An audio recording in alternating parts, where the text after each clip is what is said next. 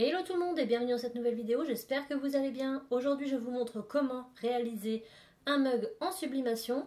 Je vais vous montrer avec quel logiciel on peut réaliser des mugs assez facilement sans pour autant avoir Photoshop par exemple. Donc là on va vraiment partir dans l'hypothèse où vous n'avez aucun logiciel payant et que vous voulez vous faire des petits mugs assez sympathiques. Donc je vous montre tout de la conception à la réalisation. J'espère vraiment que le tuto vous plaira. Et on se retrouve tout de suite sous l'ordinateur pour la conception du visuel. Donc c'est parti, on commence sur Canva. C'est un site gratuit. On va donc créer un design. Vous pouvez vous connecter directement avec votre compte Google. Et là, on va euh, mettre dimension personnalisée. Donc nous, on veut du 21 cm. Donc on met bien centimètre ici. Par 9 cm et on crée un nouveau design. On arrive sur la page d'accueil. On va aller dans importer et on va venir importer nos photos. Donc moi je vais garder euh, ce petit logo Happy Time parce que je l'aime bien. La hauteur maximale c'est 9. on peut aller un peu plus haut, mais euh, je vais rester sur 9. Et ce que je vais faire c'est que je vais dupliquer pour le mettre ici. Maintenant qu'on a notre, nos, dessins euh, faits, il va falloir les retourner parce que pour la sublimation, il faut que ce soit en mode miroir. Donc on va dans retourner et on va retourner horizontalement. Et celui-ci, on fait la même chose.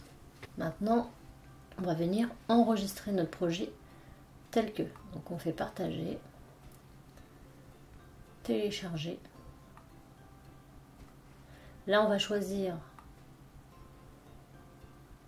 du JPEG pour le moment et on télécharge. Et là, ça s'importe dans nos téléchargements. Maintenant, on va revenir sur la première page et là, on va mettre 21 29 7.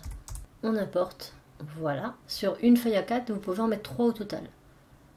Donc là, j'en mets un et je viens, hop, le positionner. Vous avez vu que je peux, si je le duplique, normalement, je peux en mettre 3 comme ça.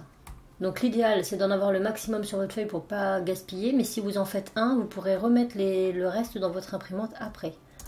Bon, moi en l'occurrence, ça va être comme ça. Et je vais en profiter pour venir importer un visuel que je vais justement lancer en impression pour voir le rendu. Donc je vais en profiter pour prendre celui-ci que je dois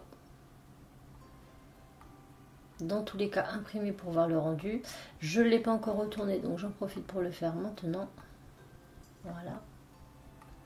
Et là, on va pouvoir lancer l'impression. Donc cette fois-ci, on va faire télécharger et là, on va choisir le PDF pour l'impression. C'est très important peu importe le logiciel que vous utilisez. Là, je vous montre sur Canva parce que c'est un logiciel gratuit dans lequel on a quand même possibilité de se débrouiller.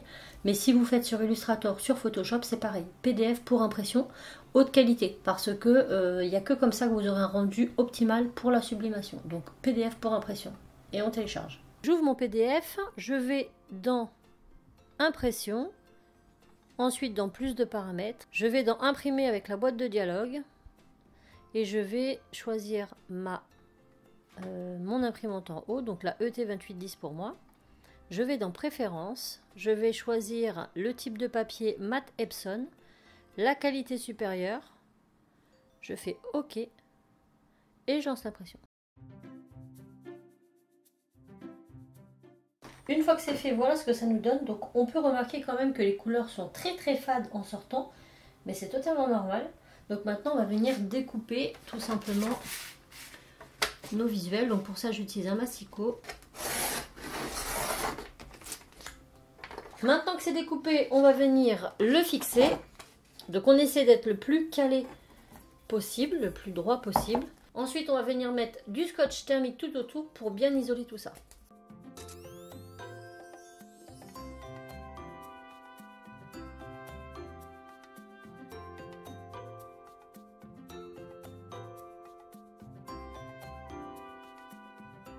Et on passe sous la presse. Donc là, on utilise la presse Vevor qui est une presse à deux mugs. Le désavantage, c'est qu'il faut vraiment mettre deux mugs. Si vous en mettez un, la chauffe ne va pas être répartie et ça va pas aller. Donc quand j'ai un seul mug à faire, ce que je fais, c'est que je prends un mug vierge que je vais mettre à côté. Ne mettez surtout pas un mug, un mug déjà sublimé, même s'il est abîmé, parce que l'encre peut euh, s'adhérer sur les petits coussins. Donc toujours un mug vierge. Donc on vient mettre celui-ci là, comme ça, déjà on est tranquille et on viendra mettre le nôtre à côté. On allume la machine. Elle a bipé. Donc là, elle va monter en température à 180 degrés. Donc elle est déjà à 161 parce que j'ai déjà fait chauffer tout à l'heure. Ça dépendra de la température de votre pièce, si vous l'avez utilisée ou non. Là, en l'occurrence, nous, on programme 180 degrés pour 180 secondes. Quand elle aura atteint son seuil de 180, elle va biper pour nous dire de remettre le mug à chauffer, tout simplement. Donc on attend gentiment que ça monte, on y est bientôt. Et là, on vient mettre notre mug à côté. Je viens fermer. Et elle va redescendre en température. C'est normal puisque mon mug est froid, ainsi que celui-ci. Donc elle va descendre, puis elle va remonter.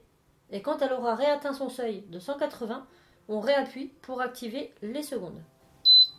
On rappuie maintenant deux fois pour réactiver les secondes. Donc le petit S est inscrit. On attend que ça descende à 0 secondes. On peut retirer le mug. Et maintenant, on va venir retirer notre scotch. Donc faites très attention parce que c'est très chaud.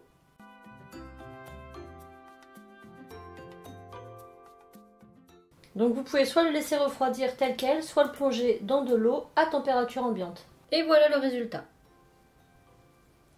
Donc si vous avez comme moi la même imprimante, ben, vous avez maintenant les réglages pour obtenir euh, ceci. Donc je vous remets en partie plus information tout le matériel que j'utilise pour la sublimation. Et puis ben, j'espère que ça vous sera utile à votre tour. J'espère que la vidéo vous aura plu. N'hésitez pas à liker, commenter, partager si vous en souhaitez d'autres. Je vous dis à très bientôt dans une nouvelle vidéo. Ciao